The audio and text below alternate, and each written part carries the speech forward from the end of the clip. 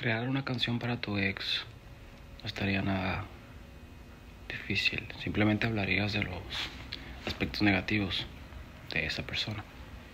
Pero crear una canción para que tu ex te la dedique a ti.